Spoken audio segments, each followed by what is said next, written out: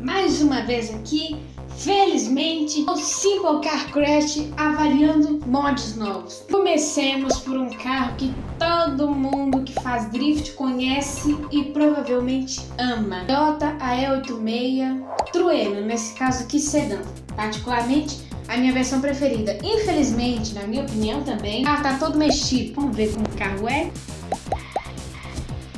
Que o carro é potente é, o problema é que como ele tá todo mexido, na minha opinião, não é tão bom. Eu até comentei no canal do desenvolvedor, ele assim podia fazer uma versão original do carro, mas eu não sei se ele vai levar minha opinião em conta, é claro. Mas se ele fizesse, eu acho que seria bom. Vejamos aqui mais ou menos como ele se sai na terra. Eu acho que se não tiver controle do carro deve patinar. Ele não é de rally, isso eu tenho certeza. Patina bastante.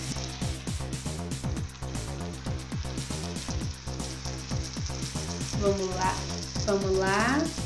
Opa. É aqui que eu vou. O carro roda toda hora, meu Deus. Deixa eu colocar na última marcha aqui.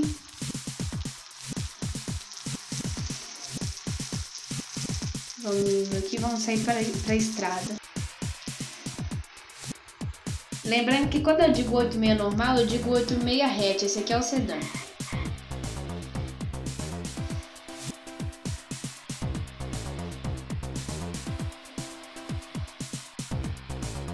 No meu carrinho corre, viu? Seria bom se aqui desse pra fazer drift, não dá.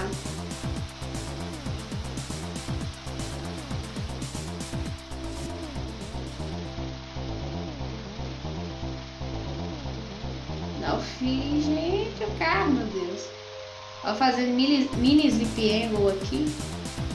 É, o carro assim mais ou menos 150 por aí, tudo, aí não estica muito mais que isso na minha opinião, é aprovado. Agora, nós estamos com um mini, mini, mini, mini, mini, mini carro. Esse carrinho aqui no Brasil tem um carrinho muito parecido com ele que eu acho talvez até o mesmo projeto. Cherokee aqui. Mas esse aqui é um Daihu Matisse. É um carrinho, na minha opinião, muito bonitinho. As rodinhas, elas são do Volga, mas são pequerruchas. Um detalhe, acredite se quiser, o carro tem tração dianteira. O cara conseguiu colocar tração dianteira nesse carrinho. Vamos ver como o carrinho se sai aqui.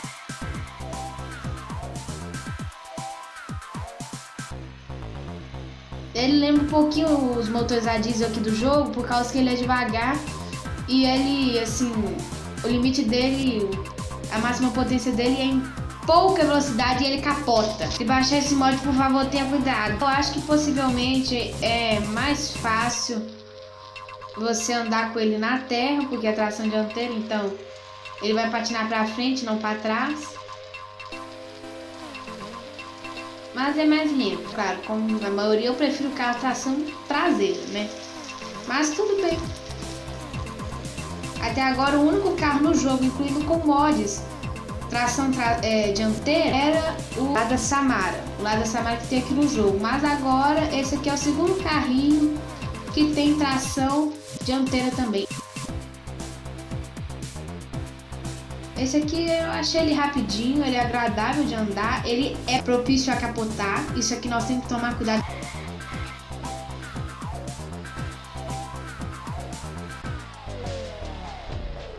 Vamos lá.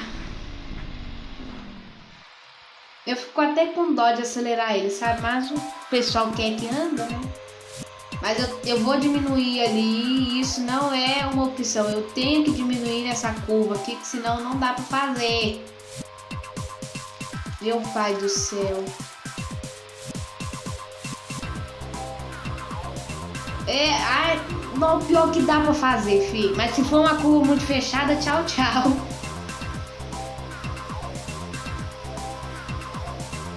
É, o bichinho anda, viu? Ele fica mais ou menos nesse 130, 140. Na minha opinião, aprovar. Próximo agora é o Lada Samara, só que novo. Ele teve, assim, eu considero a primeira geração e depois ele no finalzinho da vida dele, de fabricação, é claro, ele teve uma reestilização que é essa aqui. Vamos saber se ele é tração dianteira? Ah não, infelizmente a tração traseira. Até agora, ele é pouquinho comparado ao Muscovite, que ele tem um interior muito detalhado, o painel é funcional. Eu queria muito que esse carro fosse tração dianteira. O dono do mod poderia ter feito a mesma coisa. O dono do mod do Matiz fez, é que que é trocar os nomes lá e colocar como tração dianteira, mas infelizmente ele não fez. Mas quem sabe numa futura atualização do mod, né, o cara faça isso.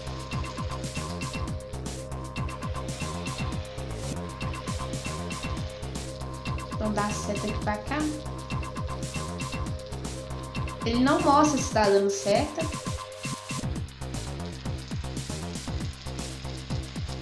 Deixa eu ver se no painel mostra. No painel mostra que tá dando, mas por fora não.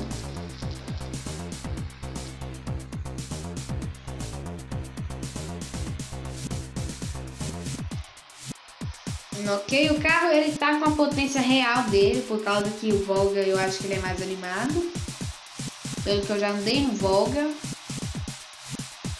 Ele parece realmente estar tá com a potência real dele. Mas o bem que o Volga paga, pega mais ou menos 140 assim, mas ele passa. Ah, então, potência e peso deve ser o mesmo. Realismo. O mesmo do real, é claro, não do Volga. Na minha opinião, aprovadíssimo. Agora que nós vamos com mais um carro de drift, muito famoso também, o Nissan Silvia S15. O carro ele tá muito bem feito, os freios funcionam, seta, ré e tudo, farol. Aqui por dentro, infelizmente, tá com o volante do Volga, por causa que tem alguns modos que vem com o volante do Volga. Ele é muito potente. É claro, um carro de drift vai ser tração traseira, né?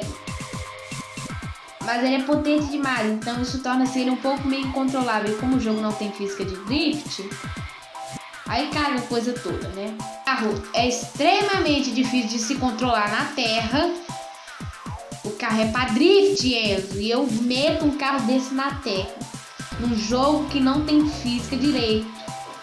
Nem de drift. A patina de quinta, pra vocês terem ideia. Eu acho que a, o cara que fez o mod acertou a potência dele mal acertada, por causa que eu não acho que o Silvia é. Eu, eu não acho que esse carro, eu, com todo respeito, é claro, o carro é ótimo de drift, mas eu, acho, eu não acho que ele tem potência suficiente para patinar de quinta. Depois eu vou dar uma ajeitada aqui, eu vou ver se eu consigo diminuir a potência dele e deixar na potência real, porque ele, com certeza um carro desse não deve ter potência para patinar de quinta, mas não sabemos.